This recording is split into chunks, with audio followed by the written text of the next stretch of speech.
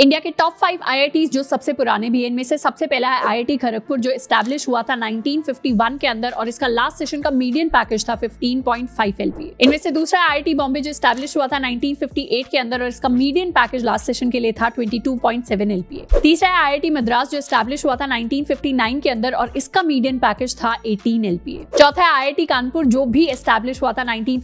के अंदर और इसका मीडियम पैकेज था 19.15 एलपीए और पांचवा आई आई दिल्ली जो स्टैब्लिश हुआ था 1961 के अंदर और इसका मीडियम पैकेज था 20 एलपीए ये आई आपको रैंकिंग के बेसिस पर नहीं बल्कि इनके ईयर ऑफ स्टैब्लिशमेंट के बेसिस पर बताई गई है आपका ड्रीम इंजीनियरिंग कॉलेज कौन सा है उसके बारे में आप मुझे कॉमेंट करके बता सकते हैं आज के लिए इतना ही मिलते हैं नेक्स्ट वीडियो में keep learning and keep exploring